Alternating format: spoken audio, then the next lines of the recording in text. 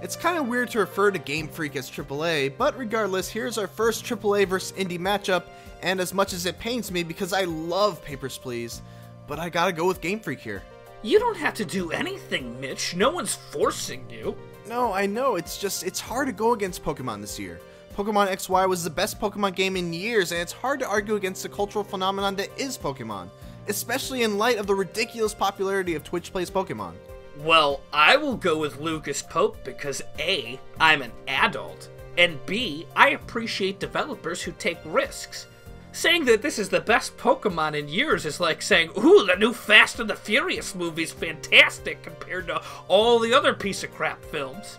But nonetheless, I like these risks when they pay off as well as they did in a game like Papers, Please.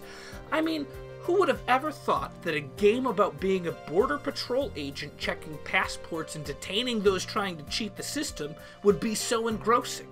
But somehow it is, and I very much look forward to whatever else Lucas Pope comes out with in the future. I totally agree, and any other year I also would have sided with Lucas Pope. But this past year and 2014 up to this point have been huge for Pokemon, and therefore, Game Freak. Alright, well, you've heard what we had to say. Now we want to hear what you have to say. Drop us a comment and make sure to click the link in the description so you can vote. Then head on over to the Escapist forums for March Mayhem and make your voice heard.